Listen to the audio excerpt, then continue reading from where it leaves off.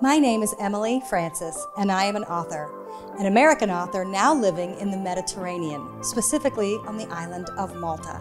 In 2020, we packed up our children, four animals, and sold our home, sold our cars, and jumped a plane and came to an island we had never so much as visited in 2020 during the worldwide pandemic and lockdown.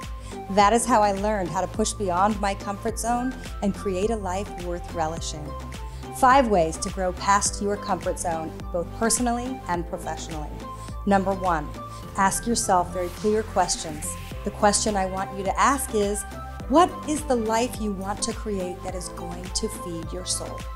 What we do in our work and what we do in our life, they're not the same thing, but they need to complement each other. So be very, very clear. Also, once you ask that question, I want you to ask yourself the follow up question what are you willing to do to get it? Number two, layer the flavors. Everything that has ever happened to you in your life contributes to the recipe for your life. But what's there right now, that's the past. It can stay, but what's the dish you really want? And then we start to layer with intention those next flavors so that you get a dish that doesn't look like the original.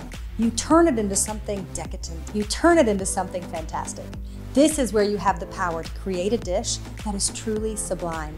And the side courses, those are the people you keep around you. So make sure they all complement that new dish. Number three, timing or time?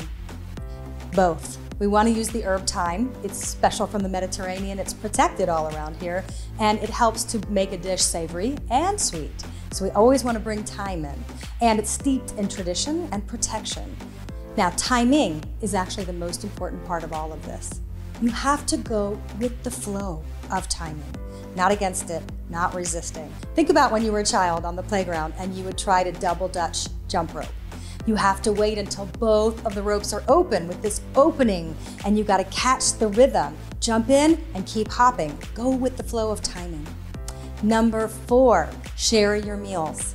Meals were never meant to be eaten alone, and that's the same with keeping a community, both professionally and personally. That is the driving force that is really important. You have to have a team around you that will make your goals and dreams come alive. And finally, number five, celebrate the harvest. Don't just celebrate the harvest once you've accomplished the final goal. No, no, no. Here's what I learned in the Mediterranean they celebrate each harvest. They celebrate when the first farm is free of the different fruits and vegetables. And then they go to the next place and they celebrate the next farm. And that's how we celebrate and make room for more blessings to come our way. And a practice of gratitude will change your life. So I'm Emily Francis. Like I said, I'm an author. I have a new book, The Taste of Joy Mediterranean Wisdom for a Life Worth Savoring. And I hope these five tips help you grow past your comfort zone.